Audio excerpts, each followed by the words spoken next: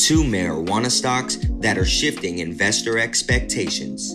Do these pot stocks have your focus? With so much going on in the cannabis industry, it can be hard at times to keep up. But as prudent investors, we must always be watching the news and researching given marijuana stocks to watch. Although companies like Canopy Growth Corp, Tilray Inc., and Cronos Group may be the most obvious choices for a pot stock to watch, there are plenty of options. The cannabis industry is extremely broad. Within the industry, there are pot stocks to support every type of investor. This means no matter what one's investing style is, there might be a right pot stock for that person. On the other hand, finding the right marijuana stock to buy is a process that can take some time. Investors need to figure out several factors about a given company before investing. This means finding out what a company is doing to secure its future in the cannabis industry.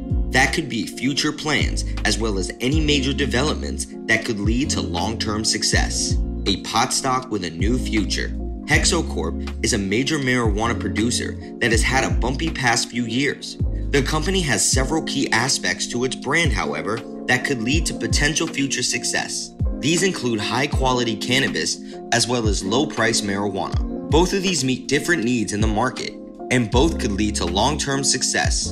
In the past, we have seen that there has been more room for both high and low price cannabis, but Hexo seems to be working on both fronts to gain as much revenue as possible. In Quebec, Hexo reportedly has more than a third of the entire market share. Given that Quebec is the second largest province in Canada by population size, this is quite a good factor. In addition, Hexo has been showing some major growth in the past few months. So far in 2020, Hexo stock has been able to post a revenue of around $74 million Canadian compared to last year's $38 million Canadian in the same period. The company also has the capability to produce three times as much cannabis as it currently is, which would be around 90,000 kilograms per year. In the past, Hexo stock has seen some bearish trading due to the company's miscalculation of marijuana demand. Despite this, it has managed to climb back in a big way over the past year or so,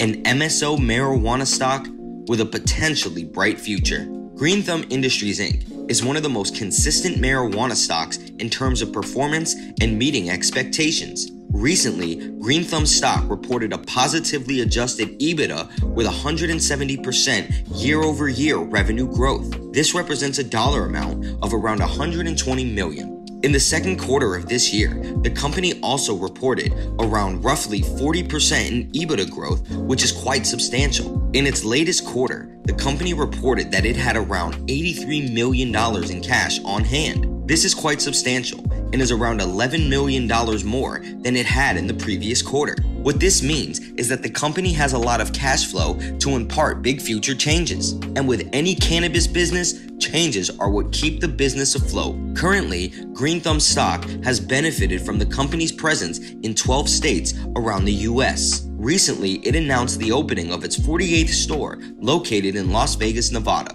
In addition, the company has its products in almost 100 stores around the country. Given its extremely broad market scope, for this reason, investors continue to believe in Green Thumb stock as a pot stock to watch.